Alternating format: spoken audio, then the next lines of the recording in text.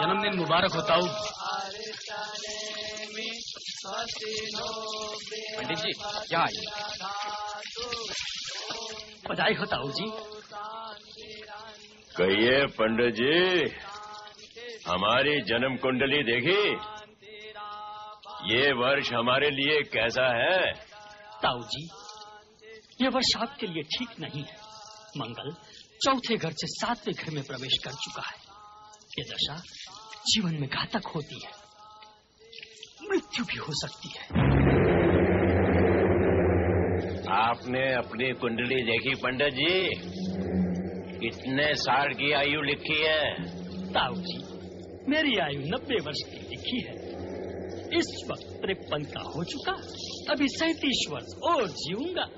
अच्छा।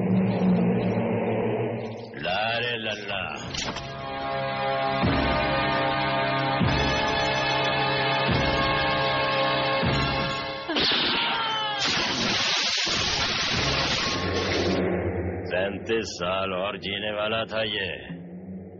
यमराज के हिसाब में कुछ गड़बड़ थी। इसके सैतीस साल मेरे खाते में आ गए।